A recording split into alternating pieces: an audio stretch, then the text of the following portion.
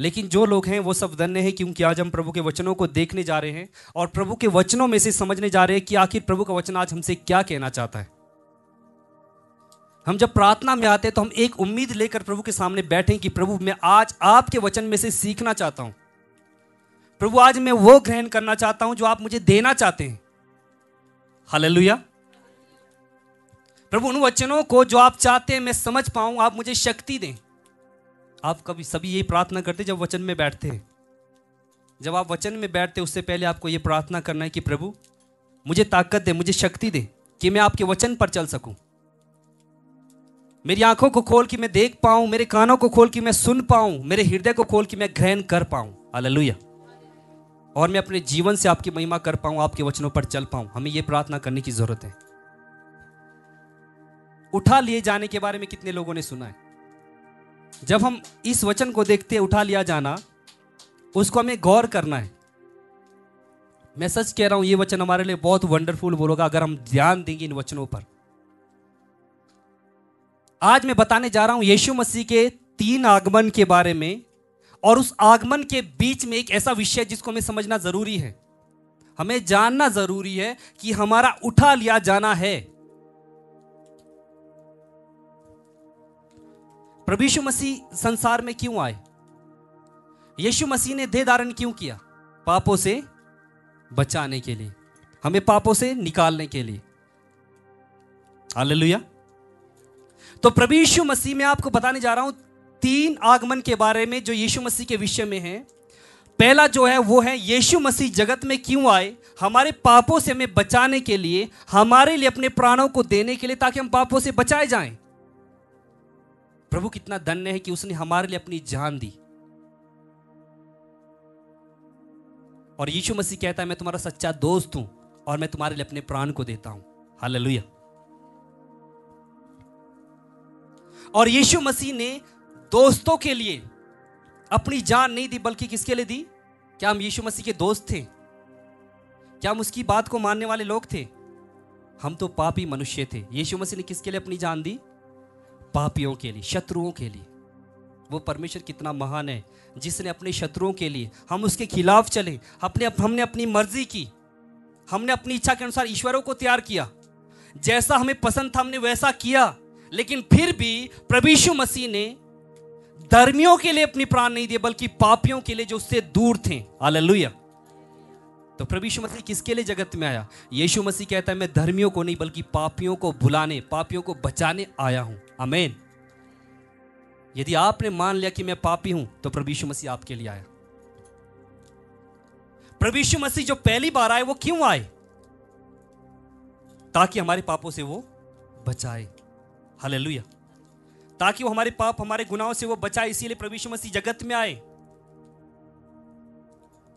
योना उसके एक अध्याय के चौदह वचन में क्या लिखा है? और वचन देदारी हुआ और अनुग्रह और सच्चाई से परिपूर्ण होकर हमारे बीच में डेरा किया और हमने उसकी ऐसी महिमा देखी जैसी पिता के एक लौते की महिमा। हालेलुया।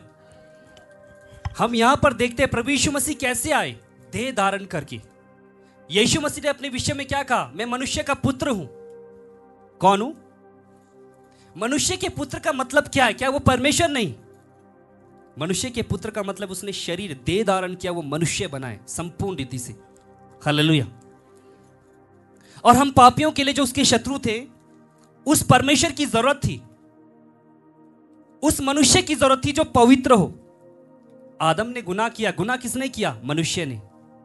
और इसकी भरपाई किसको करनी थी? मनुष्य को। लेकिन मनुष्य में योग्यता नहीं थी कि हमारे पापों की भरपाई करे, इसलिए यीशु मसीह स्वयं मनुष्य बनकर जगत में आए। हालेलुया। तो मैंने आपको पहले ही बताया, सबसे पहले प्रभु यीशु मसीह जगत में क्यों आए? हमारे पापों के लिए। बोलो। मेरे पापों के लिए प्रभु यीशु मसीह जगत में आया। जो पहला आगमन यीशु मसीह का हुआ था, जो यीशु मसीह ने देह धारण किया, वो किसके लिए था? वो किसके लिए था? मेरे पापों के लिए। हालेलुया। अब जब हम देखते हैं यहाँ पर मैंने आपको बताया कि तीन प्रकार के आगमन के बारे में मैं आज आपको बताऊँगा। और जो पहला आगमन है, मैंने आपको बताया वो क्या था? देह धारण था। यानी कि यीशु मसीह ने क्या किया? देह धारण किया। अब हम जब दूसरे आगमन के बारे में देखते हैं तो दूसरा जो आगमन है, वो है गुप्त आगमन, जिसके विषय में आज मैं आपको बताने जा रहा हूँ। पहले यीशु मसीह संसार में पापियों के लिए आए, और फिर यीशु मसीह गुप्त रीति से जगत में आएँगे। और यीशु मसीह फिर से जगत में आकर डेरा नहीं डालेंगे। वो दे धारण नहीं करेंगे क्योंकि उन्होंने पहले से ही दे धारण किया है। अब यीशु मसीह को बार बार दे धारण करने की ज़रूरत नहीं है। क्योंकि उसने एक बार दे धारण किया है। अब वो दे धारण नहीं करेगा। हालेलुया। तो जब हम वचन देखते हैं, वचन में हम जब देखते हैं तो प्रभु यीशु मसीह प्रभु का वचन कहता है, यीशु मसीह ने स्वयं कहा, उस दिन, उस घड़ी के विषय में कोई नहीं जानता। यीशु मसीह जो दूसरी बार आने जा रहा है, वो गुप्त आगमन उसको सीक्रेट कमिंग कहते हैं। अब मैं आपको बताना चाहता हूँ, हनोक कब उठा लिया गया? हनोक कब उठा लिया गया? जब आप बाइबल में देखते हो तो हनोक नू के जाज बनाने से पहले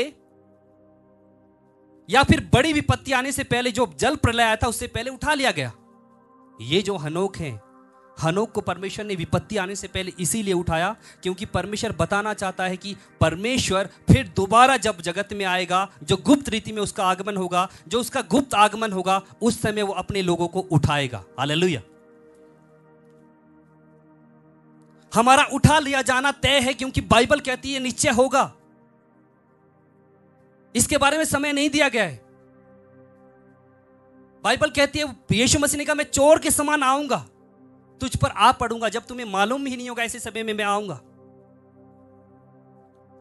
उठा लिया जाना बहुत इंपॉर्टेंट है हमारे लिए। उठा लिए कौन जाएँगे? पहले हम एक भजन गा रहे थे, जाग जरा दुल्हन। जाग जरा दुल्हन। किस लिए आ रहा है? दुल्हन को उठाने के लिए। ये दुल्हन कौन है? जो उसके लहू के द्वारा धोए गए हैं। जो पवित्र जीवन जी रहे हैं। जो प्रत्येक दिन खड़े हैं प्रभु के साथ उसके राज्य में जाने के लिए। बाइबल में क्या लिखा है? हनोक, क्यों उठा लिया गया? क्योंकि वो परमेश्वर के साथ साथ चलता था। उसके बारे में गवाही क्या दी गई है?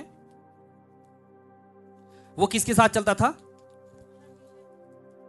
हालेलुया। हनोक इसीलिए उठा लेगा क्योंकि वो परमेश्वर के साथ साथ चलता था। और हनोक उस किस्ती से पहले, उस बड़े जल प्रलय से पहले हनोक उठा लिया गया। अब दूसरी बार यीशु मसीह क्यों आएँगे? दूसरी बार उन लोगों के लिए जो लहू से धोए गए हैं और जो उसकी इच्छा पर चलते हैं। हालेलुया। उनके लिए जो उसके साथ साथ रहते हैं। उनके लिए जिन्होंने अपना चुनाव सही किया और उस खुदा के साथ प्रत्येक दिन अपने जीवन को जी रहे हैं, जो जागते रहते हैं। इसलिए जाग जरा दुल्हन, दुल्हा आने वाला है। इस बात को आपको नोट करना है। प्रभु यीशु मसीह दूसरी बार आने वाला है। कैसे आएगा? फिर से दोबारा जन्म नहीं लेगा। बहुत सारे लोग बोलते यीशु मसीह दोबारा आ चुका है। नहीं यीशु मसीह ने एक बार जन्म लिया हमारे पापों के लिए। अब दे धारण की कर, करने की ज़रूरत नहीं है। अब ज़रूरत नहीं कि प्रभु यीशु मसीह दोबारा से जगत में दे धारण करे क्योंकि उसने दे धारण किया है। जो देह में काम था वो सारा कंप्लीट कर चुका है। हालेलुया। अब यीशु मसीह किसके लिए आने वाला है? दुल्हन के लिए। मैंने आपको पहले ही बताया जब हम बाइबल में देखते हैं परमेश्वर ने जल प्रलय से पहले हनोक को उठा लिया। क्यों? क्योंकि हनोक परमेश्वर के साथ चलता था। हालेलुया। मुझे चेक करना है क्या मैं परमेश्वर के साथ चल रहा हूँ। बाइबल में लिखा है, ऐसे दुख, ऐसी समस्याएँ, ऐसी तकलीफें आने वाली, इतनी बड़ी घटनाएँ होने वाली है। ना तो पहले कभी हुई थी, ना फ्यूचर में कभी दोबारा देखोगे। ऐसी बड़ी विपत्ति आने वाली है। लेकिन उससे पहले क्या होगा?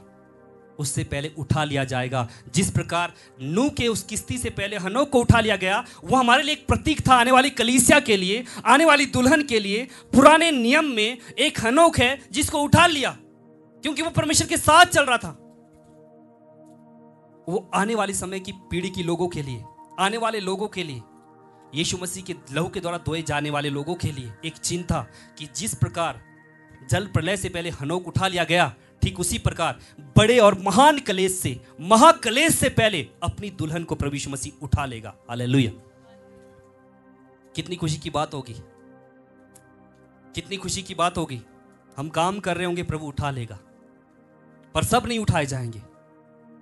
सबका उठा लिया नहीं, उठा लिया जाना नहीं हो पाएगा। क्यों? केवल वही उठा लिए जाएँगे जो उसके चुने गए हैं, जो उसके लिए जीते हैं, जो उसके नाम की महिमा करते हैं। जब आप दस कुवारियों के बारे में देखते हैं मती सुषमाचार, उसके पच्चीस अध्याय में, एक से तेरह में, वहाँ पर आप स्पष्ट देखोगे, वहाँ पर क्या हुआ? कितनी दुल्हन थी? कुआरियाँ कितनी थी? दस कुआरी थी। ये जो मैसेज है, वो रैप्चर का है। दस कुवारियाँ थी दसों को मालूम था हमारा ब्याह होना, होने जा रहा है, हमारा विवाह होने जा रहा है। वो दसों क्या कर रहे थे? तैयार हो चुके थे। तैयार कितनी थी? सारे तैयार थे जितने भी थे। दस के दस तैयार थे। क्योंकि वो, उनको मालूम है कि दूल्हा आने वाला है। लेकिन पाँच के पास पेशेंस कम था। अब उन्होंने सोचा कि अब दूल्हा आने में बड़ी देर कर रहा है। उनके पास कुप्पी में तेल नहीं था। इसका मतलब दूल्हे की प्रतीक्षा वो कर रहे हैं, लेकिन जब दूल्हा आने में देरी करता है तो क्या हुआ? उनके पास तेल की घटी होने लगी। जब तेल की घटी हुई तो वो क्या करते हैं? वो कहते पाँच दुल्हनों को जिनके पास तेल था, वो तैयार थी, वो रेडी थी। तेल का मतलब क्या है? तेल का मतलब है पवित्र आत्मा से भरना। हालेलुया। तेल का मतलब उसकी इच्छा पर चलने वाले लोग, जो पवित्र आत्मा से भरे हुए हैं। तेल का मतलब ये नहीं कि आप चर्च में आए और हम उछलने लग गए। हम बहुत अन्य भाषा बोल रहे हैं तो मैं उठा लिया जाऊँगा। नहीं। मैं बहुत आत्मा में भविष्यवाणी कर रहा हूँ, उठा लिया जाएगा। बिल्कुल नहीं, ऐसा नहीं हो सकता। क्योंकि रचित सुसमाचार सात अध्याय में क्या लिखा है? उस समय बहुत सारे लोग क्या कहेंगे? हे प्रभु, हमने आपके नाम में दुष्ट आत्माएँ निकाली, हमें आपके राज्य में आने दे। हमने बीमारों को चंगा किया, लेकिन प्रभु की ओर से क्या जवाब आएगा? प्रभु की ओर से क्या जवाब आएगा? मैंने तुम्हें कभी नहीं जाना। हालेलुया। सोचिए, वो लोग चंगा करने वाले लोग भी हैं। सोचिए, वो लोग भविष्यवाणी करने वाले भी हैं। वो लोग भविष्यवाणी करने वाले हैं, अन्य भाषा सब कुछ उनकी लाइफ में है। लेकिन वो रह जाएँगे। क्यों? क्योंकि वो प्रभु की इच्छा पर नहीं चले। पवित्र आत्मा के फल को हम जानते हैं। परमेश्वर इस चीज़ की चेष्टा करता है कि हमारे जीवन में वो हो। और पवित्र आत्मा जिसके पास है, उसका चिन्ह क्या है? अगर आप कहते हो कि मेरे पास पवित्र आत्मा मुझे मिल चुका है, उसका चिन्ह क्या है? आत्मा के नौ फल अगर आपकी लाइफ में है तो पवित्र आत्मा आपके साथ है। आपको पवित्र आत्मा मिल चुका है। लेकिन आप बहुत कुछ आत्मा में कर रहे हो उछल कूद कर रहे हो, लेकिन अपनी लाइफ को सही से नहीं जी पा रहे तो आप पवित्र आत्मा से भरे हुए लोग नहीं हैं। आप फंस चुके हैं। क्योंकि परमेश्वर अपने लोगों को चाहता है जो उसके साथ चलते हैं।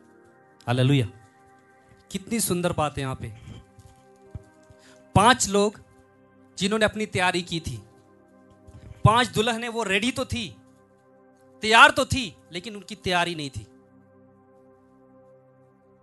आप इस बात को देख रहे हैं। हुआ क्या इन दुल्हनों के साथ? ये सब प्रतीक्षा कर रहे हैं, दस से, दस सौ प्रतीक्षा कर रहे हैं। क्या हुआ? किस कारण से ये लोग उस समय रेडी नहीं हो पाए? किस कारण से वो तैयार नहीं हो पाए? क्योंकि दुल्हे के आने में देरी हो रही थी। आप समझ रहे इस बात को? किसके लिए देरी हो रही थी? ओह, जब दुल्हे के आने में देरी हुई तो उन्होंने सोचा, कोई बात नहीं, दुल्हा तो आता रहेगा, हम अपनी दुनिया में खो जाते हैं। वो मगन हो चुके हैं। अपने परिवार में, अपने घर में, लोगों के साथ, सबके साथ दुनिया में फंस चुके हैं। पहले रेडी थी, लेकिन जब प्रतीक्षा उनकी खत्म हो गई, अब उनका सांस टूट गया, अब जब पेशेंस खत्म हो गया तो उन्होंने क्या कर दिया? जैसे ही सांस टूट गया, वैसे ही धुला आ गया। लेकिन पाँच ऐसी थी जिन्होंने अंत तक, जब तक दुल्हे ने नोक नहीं किया, तब तक वो तैयार थे। हालेलुया। ये पवित्र आत्मा का मतलब क्या है? तेल लेने का मतलब क्या है? पीठ में उठाकर हम तेल लेके जाएँ? सरसों का तेल। है? तेल का मतलब है, वो बने रहे, उन्होंने अपने तेल को घटने नहीं दिया। बाइबल कहती है, आत्मा को ना बुझाओ। हालेलुया। जो आत्मा हमें मिला है वो आत्मा इसलिए मिला ताकि हम परमेश्वर की आज्ञा को पूरा कर सकें उसके साथ जी सकें। कई बार हम अपने पेशेंस को खो देते हैं हम अपने धीरज को खो देते हैं। और धीरज किसका फल है? आत्मा का पवित्र आत्मा का जो फल है वो है धीरज। हालेलुया। इसकी उनके अंदर कमी है। अब उन्होंने सोचा बहुत देर हो रही है जब आएगा तो, तो हम तब तैयार हो लेंगे। यीशु मसीह ने कहा उस घड़ी के बारे में कोई नहीं जानता। प्रभु के दास कहते हैं उस दिन के विषय में कोई नहीं जानता है। सोच लीजिए। हनोक हनोक को परमेश्वर ने पहले से नहीं बोला था कि, हनोक, इतनी तारीख को मैं आऊँगा, तुझे उठा लूँगा। परमेश्वर को जो पसंद आया, खुदा ने उसको किया। क्या किया? उस आने वाली घटना से पहले, उस जल प्रलय से पहले हनोक को प्रभु ने उठा लिया। हम इसको दूसरा आगमन तो नहीं कहते क्योंकि ये सीक्रेट कमिंग है, ये गुप्त आगमन है। वो गुप्त आगमन उसके अपने लोगों के लिए है। कौन है उसके अपने लोग? जिन्होंने उसको ग्रहण किया है। हालेलुया। जो उसके लिए रेडी है, जो उसके लिए तैयार है, जिनका सास प्रभु में बना हुआ है, वो संसार की बातों में फंसे नहीं है। बाइबल कहती है, वो मतवालेपन में नहीं फंसेंगे। संसार की लोगों की बातों में वो फंसेंगे नहीं। और वो किसके लिए तैयार है? अपने दुल्हे के लिए। मैं आपको बताना चाहता हूँ, प्रभु यीशु मसीह आने के बाद ना जाने कितना समय हो गया। अभी तो 2000 साल से ऊपर चला गया। लेकिन फिर भी यीशु मसीह ने अभी तक रैप्चर नहीं हुआ है। रैप्चर के दिन क्या होगा मालूम है आपको? मती चौबीस का चालीस और इकतालीस ये दो वचन पढ़े। उस समय दो जन खेत में होंगे एक ले लिया जाएगा और दूसरा छोड़ दिया जाएगा। दो सत्रियों चक्की पीसती रहेगी एक ले ली जाएगी और दूसरी छोड़ दी जाएगी। ओके जब दस कुवारियाँ थी तो कितने छोड़े गए और कितने ले लिए गए? पाँच। अब यहाँ पर वचन क्या कहता है? दो क्या कर रहे होंगे खेत में? काम कर रहे होंगे। एक उठा लिया जाएगा, दूसरा छोड़ दिया जाएगा। और दो चक्की पीसती होगी, क्या किया जाएगा? एक उठा लिया जाएगा, एक छोड़ दिया जाएगा। रेप्चर के दिन ऐसे ही होने वाला है। हो सकता है कि हम घर से बाहर निकल गए और शाम को घर में वापस लौटे ही नहीं। तो क्या होगा? किसी की पत्नी होगी जो जिसको आपने बाज़ार भेजा हो सब्ज़ी लाने के लिए, बाज़ार से ही गायब। प्रभु ने उठा लिया। क्या होगा? किसी का पति यहाँ से दिल्ली चला गया था, सेब बेचने के वो वहीं पे गायब। क्या होगा? हम एफआईआर करने जाएँगे कि नहीं? है? कुछ समय तक तो हम एफआईआर करने जाएँगे। ओ, मेरा पति गुम हो चुका है, मेरी पत्नी जा चुकी है पता नहीं उसने मेरे को धोखा दे दिया, वो कहाँ चली गई होगी, किसके साथ भाग गई होगी, बहुत सारी बातें होगी, क्योंकि उठा लिए जाने में बहुत सारे लोग शामिल नहीं होंगे। उसमें बहुत रेयर लोग होंगे, बहुत कम लोग होंगे जो उसके अपने लोग होंगे। अपने का मतलब क्या है? जो उसके वचन पर चलते हैं, जिन्होंने कुप्पी पर तेल रखा है, जो पवित्र आत्मा की अगुवाई में चलते हैं, जो पवित्र आत्मा के फल से भरे हैं। हालेलुया। मैं आपको सच कहता हूँ, पवित्र आत्मा के वरदानों से ज़्यादा पवित्र आत्मा के फल के लिए हमें रोज प्रार्थना करना चाहिए। क्योंकि वरदान से घमंड हो सकता है, लेकिन फल से हमें कभी घमंड नहीं हो पाएगा। क्योंकि प्रेम कभी घमंड नहीं करता, बाइबल कहती है, और ये पवित्र आत्मा का फल है। हालेलुया। अब क्या होगा? ये रैप्चर हो क्यों रहा है? क्योंकि जिस प्रकार हनोक को जर प्रलय से बचाना था, ठीक उसी प्रकार बड़ी विपत्ति आने जा रही है। बड़ी समस्या आने जा रही है। बाइबल कहती है, सूरज अंधियारा हो जाएगा, सब कुछ तारों की शक्तियाँ हिलाई जाएगी। यानी कि एक बड़ी विपत्ति लोगों की लाइफ में आने जाएगी। सोचिए, उसमें प्रभु के लोग पहले उठा लिए जाएँगे ताकि बड़ी विपत्ति में ना प्रवेश करें। हालेलुया। प्रभु के लोग इसीलिए उठा लिए जाएँगे जिस प्रकार हनोक को उठाया ताकि बड़ी विपत्ति में ना फंसे। हनोक को तो जल प्रलय से बचाया, लेकिन हमें बड़ी विपत्ति, उससे कई गुना बड़ी विपत्ति से प्रभु बचाने के लिए पहले क्या होगा? रैप्चर होगा, हम उठा लिए जाएँगे। और हम क्या करेंगे? पत्नी बाज़ार गई होगी, बच्चे कहीं गए होंगे, हो सकता है बच्चों का भी रैप्चर हो जाए। हम ढूँढने लग जाएँगे, हम केस करने लग जाएँगे। लेकिन बाद में पता चलेगा कि वो तो रैप्चर हो गए, वो तो उठा लिए गए। क्योंकि भारत के अंदर हो गए, हो हो सकता है कि सौ लोग हो। हो सकता है दूसरे देश में पचास लोग हो। हो सकता है कोई दो या तीन हो। लेकिन रैप्चर के समय जब उठा लिए जाएँगे, बाद में समझ आएगा कि हाँ मैं तो व्यर्थ में केस करने चला गया था। मैं तो व्यर्थ में ढूंढ रहा था, वो तो उठा लिए गए। उस समय क्या होगा, बताइए। अगर पति उठा लिया गया, पत्नी नहीं उठा ली गई तो क्या होगा? बताइए। किस बात का दुख होगा? विश्वासियों को। हमें दुख इस बात का होगा क्योंकि पति तो उठा लिया गया लेकिन मैं रह गया। ये जो पाँच कुवारियाँ थी वो क्या कर रही थी? जिनको उठा लिया नहीं लिया गया था। जिनको जिस दुल्हन को दुल्हे के ने नहीं ले गया उन, उन्होंने क्या किया? वो विनती करने लगे। वो कहने लगे दरवाज़ा खोलो दरवाज़ा खोलो दरवाज़ा बंद हो चुका था। क्योंकि रेडी पाँच थी और उनको ले गए जिन्होंने पहले से ही तैयारी की थी। जिनके अंदर धीरज था जिनकी कुपी में तेल था वो उठा लिए गए, लेकिन पाँच किस बात के लिए रो रही थी? क्या वो लोग चले गए इसीलिए रो रहे थे, वो तो चले गए, हम दोबारा नहीं देखेंगे। वो अपने लिए रो रहे थे, क्योंकि वो पाँच रह गई थी। आपको मालूम है, अगर हम उठा नहीं लिए गए तो बड़ी विपत्ति से होकर हमें गुजरना है। इसका मतलब ये भी नहीं है कि अब आगे आने वाले समय में कोई विश्वासी नहीं रहेगा। क्योंकि यीशु मसीह पर विश्वास करने के लिए तो जब तक यीशु मसीह का आगमन नहीं होगा दूसरा आगमन जिसको हम कहते हैं, यीशु मसीह फिर बादलों में में से फिर से आने वाला है। जब यीशु मसीह उठा लिए गए बादलों में तो दो दूत वहाँ पर नज़र आए थे। उन्होंने क्या कहा? जिस प्रकार तुम उसे जाते हुए, बादलों में जाते हुए देख रहे हो, ठीक उसी प्रकार दोबारा वापस आते हुए देखोगे। हालेलुया। गुप्त आगमन में कोई देखेगा नहीं कि मसीह कब आया और कब उसके लोग उठा लिए गए। लेकिन जब दूसरा आगमन होगा। उस समय सारी आँखें देखेगी। बाइबल कहती है, हर एक कुल के लोग छाती पीटेंगे। क्योंकि आग उसके आगे आगे बसम करती हुई आएगी। अगर हम एक वचन देखिए, यहाँ पर वचन क्या कहता है? मरकुस उसका तेरह देगा छब्बीस वचन। याद रखना इन तीन पॉइंट को। पहला, यीशु मसीह जगत में क्यों आया? दूसरा, गुप्त आगमन क्यों होगा? तीसरा, दूसरा आगमन कैसे होगा? इस बात को आप लोगों ने याद रखना। ठीक है? पढ़े। अब लोग मनुष्य के पुत्र को बड़ी सामर्थ और महिमा के साथ बादलों में आते देखेंगे। क्या दे, कैसे देखेंगे? सामर्थ और महिमा के साथ आते हुए देखेंगे। हर एक कुल और जाति के लोग देखकर हैरान होंगे कि ये यीशु मसीह आया। बहुत सारे लोग उसको पहचान तो लेंगे। लेकिन खेद होगा उनको क्योंकि उन्होंने उस व्यक्ति को नहीं पहचाना, उस व्यक्ति को ग्रहण नहीं किया जो सच में जगत का उद्धार करता है। उस समय खेदित होंगे क्योंकि उन्होंने पहले प्रभु यीशु मसीह को ग्रहण नहीं किया। पर जिन्होंने ग्रहण किया और उसके लिए तैयार नहीं रहे, उनको इस बात का दुख होगा कि प्रभु, मैं आपके लिए नहीं जिया। अविश्वासियों को जितना दुख होगा, उससे कहीं गुना दुख उन लोगों को होगा जो प्रभु को जानकर भी उसकी इच्छा पर नहीं चलते प्रेरितों के काम उसके एक अध्याय के ग्यारह वचन में पढ़ो।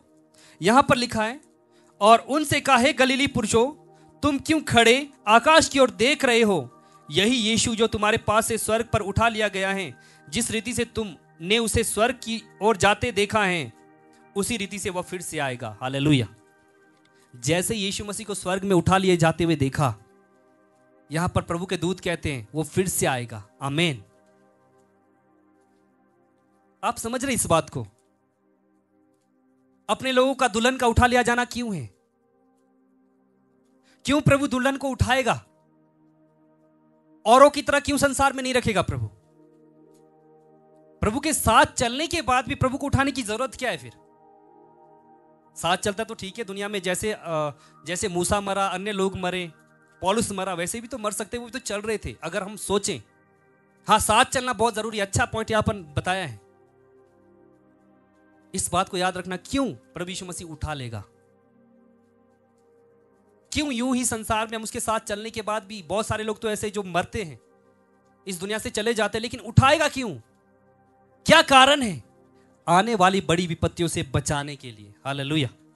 प्रभु नहीं चाहता कि उसके जो उसके जो दुल्हन, जो तैयार है, जिन्होंने यीशु मसीह के लहू के द्वारा अपने आप को पवित्र किया है, जो शुद्ध हो चुके प्रभु नहीं चाहता कि वो उस विपत्ति में पड़े। इसीलिए प्रभु जैसे हनोक को जल प्रलय से पहले उठाया, उठाए जाने का कारण सिर्फ़ यही था, क्योंकि जल प्रलय होने जा रहा था परमिशन नहीं चाहता था कि हनोक भी जल प्रलय में जाए। हालेलुया।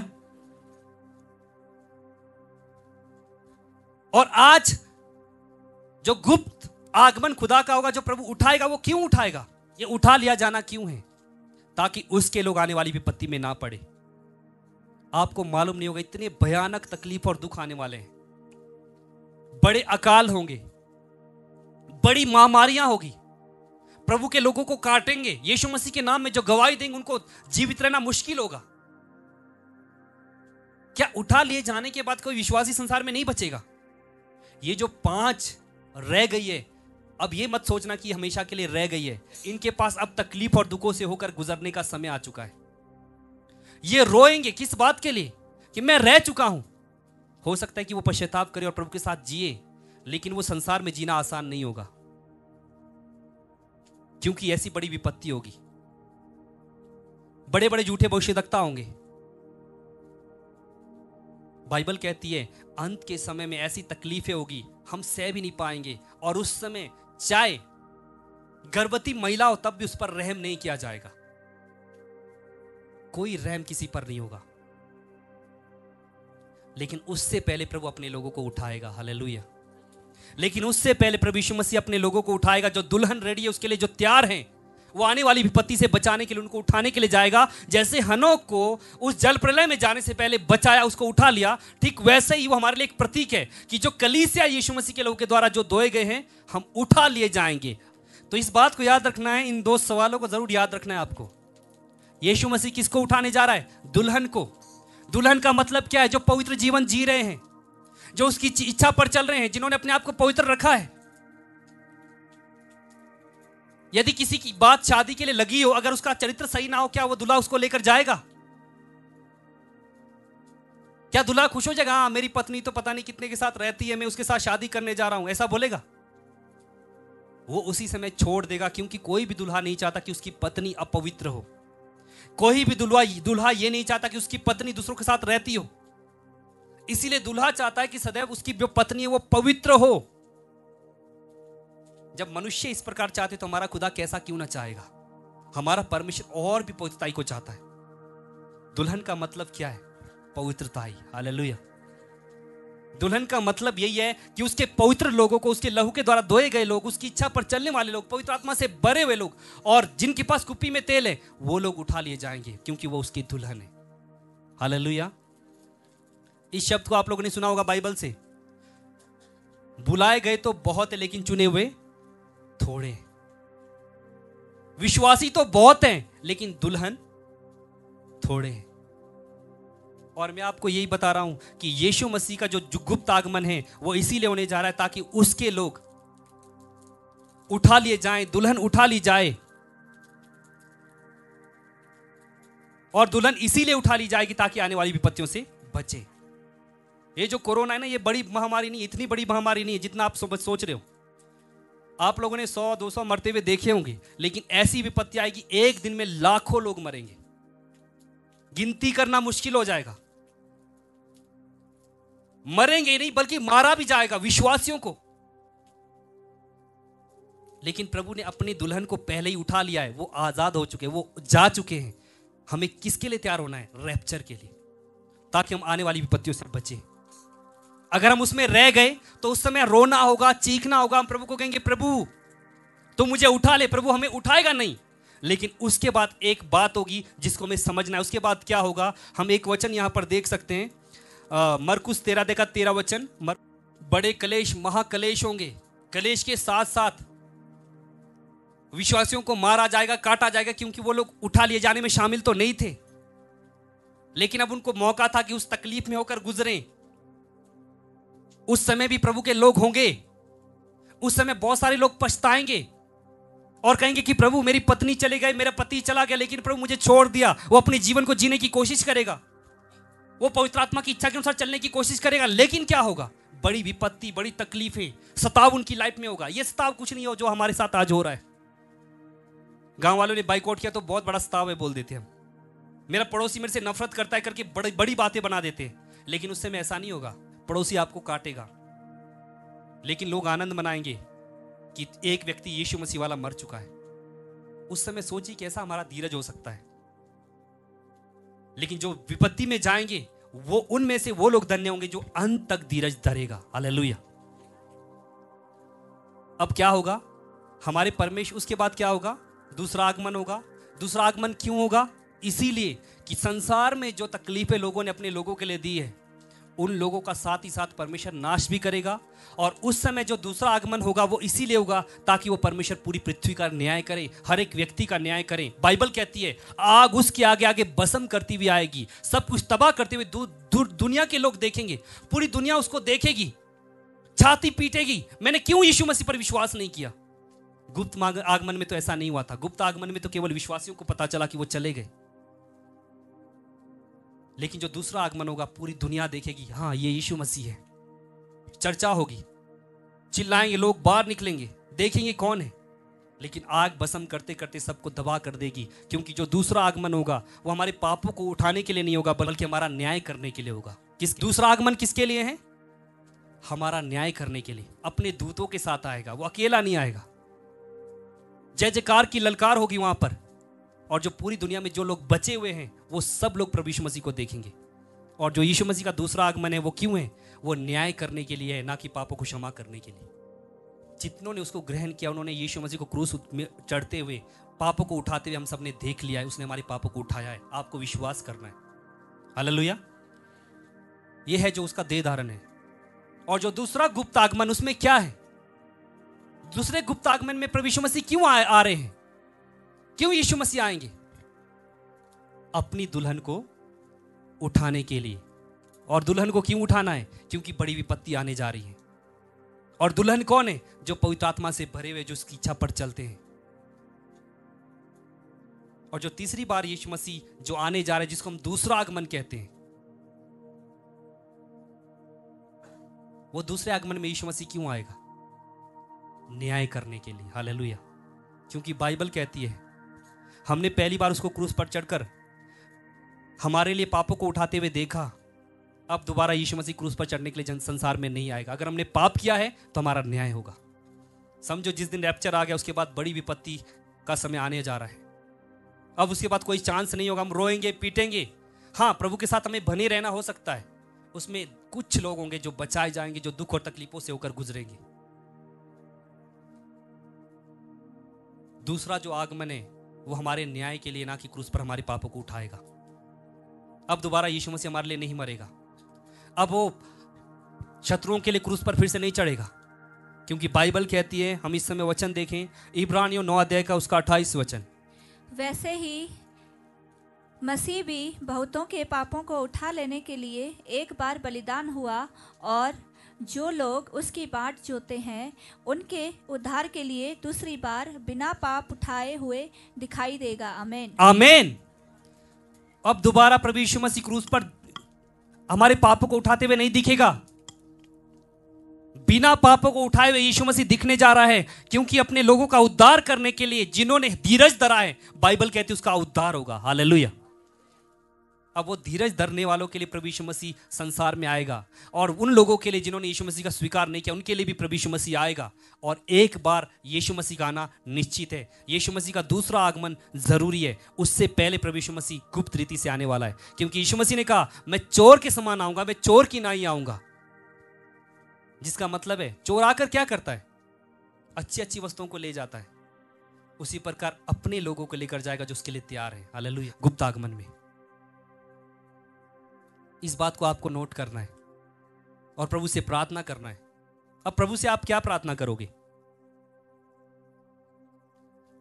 जब प्रभु यीशु मसीह गुप्त आगमन में आएगा, जब गुप्त रीति से प्रभु यीशु मसीह उठा लेने के लिए आएगा, उस समय आप किस दशा में होने चाहिए? आप क्या सोच रहे हैं? एक व्यक्ति स्वयं कहता है,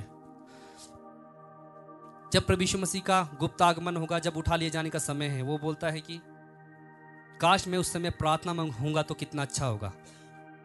प्रभु यीशु मसीह के गुप्त आगमन में मैं प्रार्थना में होऊँगा तो कितना अच्छा होगा। आप लोग ध्यान से सुन रहे हैं?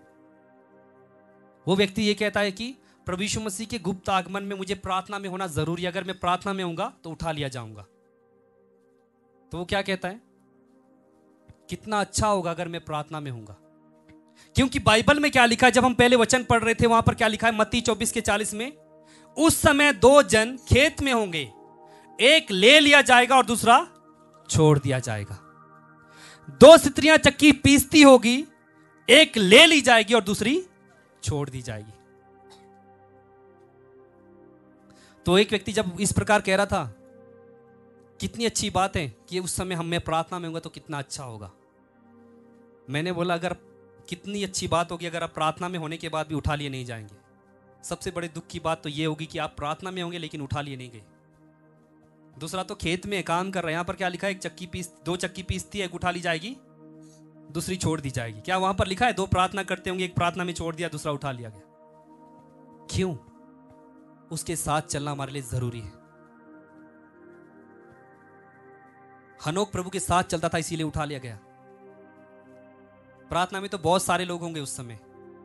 घुटने टिका कर बैठे होंगे प्रभु, लेकिन वो लोग रेडी नहीं होंगे प्रभु के लिए। वो अपनी इच्छाओं के लिए प्रार्थना कर रहे होंगे, प्रभु, मुझे ये चाहिए, प्रभु, मेरा परिवार, मेरे बच्चे, मेरी दुनिया। नौकरी के लिए प्रार्थना कर रहे होंगे।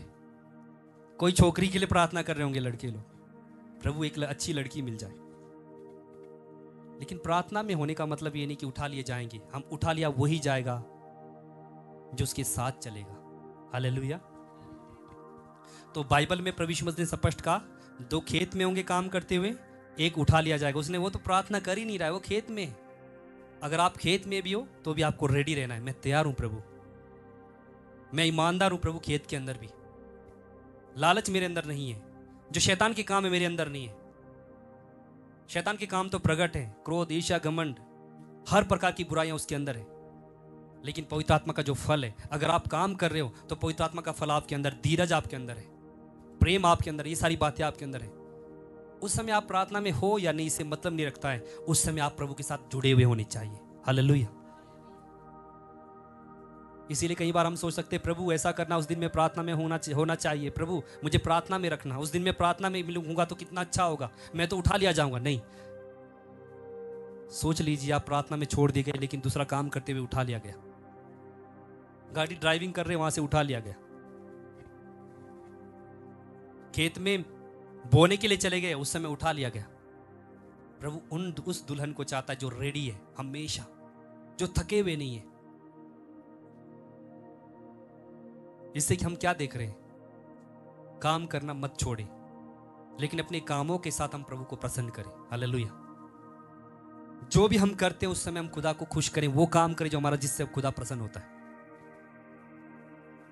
आइए हम प्रभु से प्रार्थना करें कि प्रभु जब आपका गुप्त आगमन होगा, मैं आपके लिए तैयार हो पाऊँ, सहायता करें। मैं अपने आप को तैयार कर सकूँ, सहायता करें। आपका आत्मा मुझमें हो। आइए हम प्रार्थना करें। चाहे आप काम कर रहे हो, चाहे खेत में हो, चाहे ऑफ़िस में बैठे हैं, कुछ भी कर रहे अगर आप तैयार हैं, आप उठा लिए जाएँगे। आइए हम प्रार्थना करें।